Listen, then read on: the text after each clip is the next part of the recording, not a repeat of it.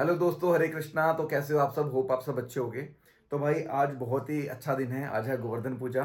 तो पहले हम चलते हैं इस्कॉन दर्शन करते हैं। गोवर्धन जी बने होंगे बहुत बढ़िया। तो दर्शन करते हैं मैं आपको भी करवाता हूँ ठीक है? तो चलो चलते हैं। हाँ। आ जा आ जा आ जा तेरा ही है सब कुछ। बस ठीक है आने आने चलो ठीक है हरे कृष्ण। भाई अभी मामू बुला रहे हैं जल्दी जल्दी मठ में जाना है आज गोवर्धन पूजा है ना। तो प्रसाद भी वहाँ पे स्टार्ट हो रहा है बस एक बार मैं इस्कॉन में जाके दर्शन करके फिर उसके बाद मठ निकलते हैं। प्रसाद तो भाई मैं कभी नहीं छोड़ता इसको कहा कि तो मैं इतना बड़ा हुआ हूँ। मैं इस्कॉन पहुँच गया हूँ और भाई भीड़ आज तो देखो दिख रहे हैं आपको? जहाँ देखो गाड़ियाँ ही गाड़ियाँ। और दर्शन करके फटाफट निकलता हूँ मैं। ओ भाई साहब लाइनें देख रहे हो प्रसाद मिल रहा है। प्रसाद हो रहे हैं यहाँ तो। हम हो गए हैं लेट लेकिन दर्शन करवाने हैं। मुझे आपको दर्शन करवाने के लिए चलते हैं। देखो। दर्शन हुए ना। सारे गौ माता गोबर से बनाए हैं। चलो, हम इनकी पहले करते हैं परिक्रमा।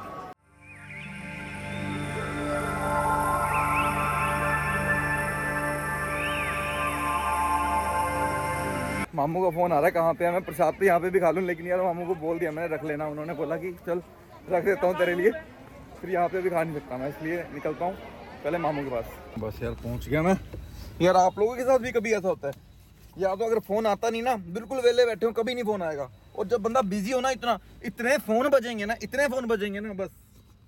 मामू का वेटिंग पे आ रहा है तीन चार फ़ोन वैसे आ गए मेरे को अब इतना काम था ना, इतना ज़्यादा बिज़ी था, मैं फ़ोन पे फ़ोन फ़ोन पे फ़ोन फ़ोन पे फ़ोन ड्राइव करूँगा, तब फ़ोन पे फ़ोन जब वेले बैठे होंगे ना, तब नहीं फ़ोन आते। चलो भाई, बस निकलते हैं। आग लग रहा है, मैं सच्ची बाहर है। ओ, मैं डंडे आग नहीं है, मैं बाहर ही है, बाहर है। आ गया। ओ, आ गया आ गया।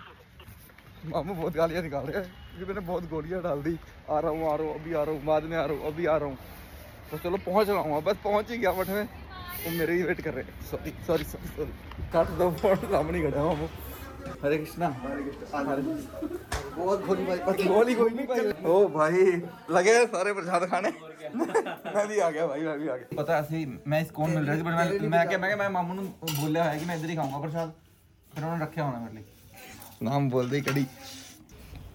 प्रसाद खा लिया बहुत टेस्टी प्रसाद था। अभी अभी एक दो जगह और जाना है। एक्चुअली घर में आ रहे हैं फ़ंक्शन शादी है घर पे तो इसलिए भागा दौड़ी कुछ ज़्यादा ही हो रही है हमारी। लेकिन मैं व्लॉग बनाने बंद नहीं कर रहा हूँ। डेली की डेली। चल चप्पल पहन लो भाई यहाँ पर। चलिए आमू। चलिए। चलो भाई चलते हैं अपना। चलो आगे हरे कृष्णा हरे कृष्णा। शाम ਨੂੰ मिलते हैं, ठीक है?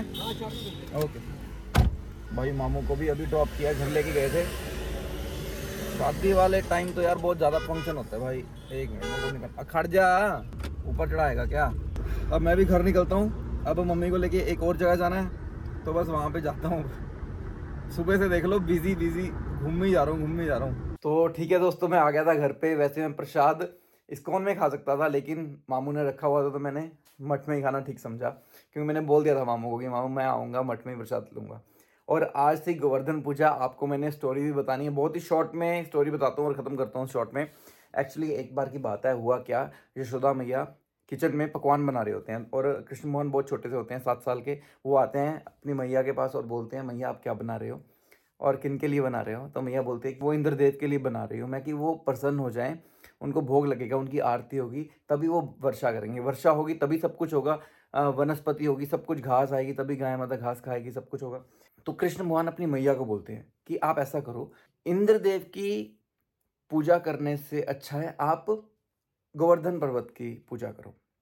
वो कृष्ण मोहन सारे गाँव वालों को भी मना लेता है किसी तरह। तो ठीक है तो गाँव वाले क्या करते हैं, इंद्रदेव की पूजा को साइड में रखते हैं, वो नहीं करते, वो गोवर्धन पर्वत की पूजा करते हैं। तो ये देख के इंद्रदेव को बहुत ज़्यादा गुस्सा आ जाता है। तो वो मूसलाधार बारिश कर देते हैं। ज़बरदस्त मतलब इतना कि सारा का सारा गाँव डूब जाए। जैसे वो बारिश करनी स्टार्ट करते हैं तो कृष्ण भगवान अपनी छोटी उंगली पे गोवर्धन पर्वत को धारण करके खड़े हो जाते हैं। ये बारिश एक हफ़्ते तक चलती है। तो इंद्रदेव बड़े हैरान हो जाते हैं कि एक हफ़्ते तक कुछ हुआ नहीं, क्या हुआ? इंद्रदेव को पता लगता है कि स्वयं विष्णु ही कृष्ण भगवान हैं। तो उनको अपनी गलती का एहसास हो जाता है। तो वो बारिश को रोक देते हैं। जैसे ही वो बारिश को रोकते हैं, कृष्ण भगवान पर्वत को नीचे रख देते हैं और कृष्ण भगवान कहते हैं कि आज से हर साल गोवर्धन पर्वत की पूजा की जाएगी। हर साल गोवर्धन पर्वत की पूजा की जाती है और गोवर्धन पर्वत से इस जो ये फेस्टिवल है, इससे ये संदेश भी मिलता है कि हमारा जीवन सृष्टि की हर चीज़ पर निर्भर करता है। चाहे वो वनस्पति हो जीव जंतु हो, घास और पेड़ पौधे हों, जंगल हो, हर चीज़ पर निर्भर करता है। हमारे भारत देश में प्रकृति का मेन जो संतुलन है, वो पर्वत और नदियाँ ही हैं। तो इसलिए इनका विशेष थैंक यू करना चाहिए हमें। तो चलो गाइज़ आज का ब्लॉग यहीं पे एंड करते हैं, यहीं पे समाप्त करते हैं। मिलते हैं कल नए ब्लॉग में। तब तक के लिए bye bye Hare Krishna like share subscribe please करते रहना।